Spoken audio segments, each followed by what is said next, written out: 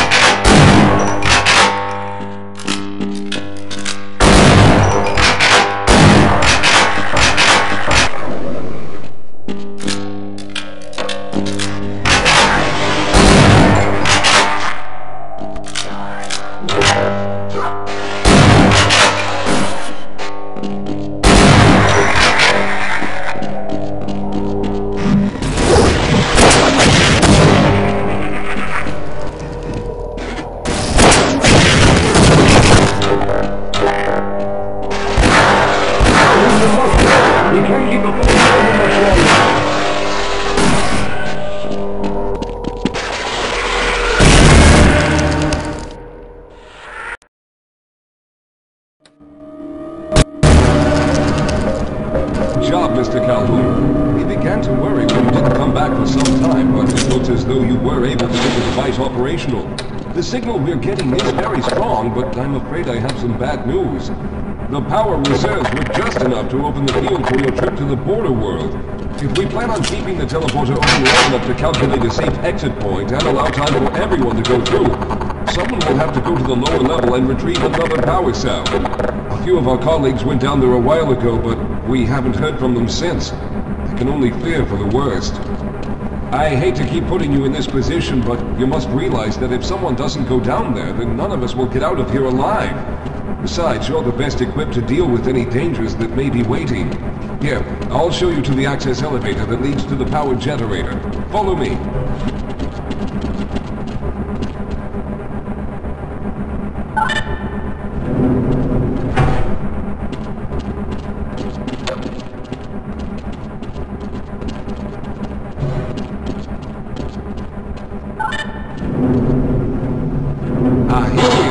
Down below are the old power generators that were used to service this lab. You should find what we're looking for down there. Once you've located a new power cell, make sure it's charged and send it up the freight lift. Good luck.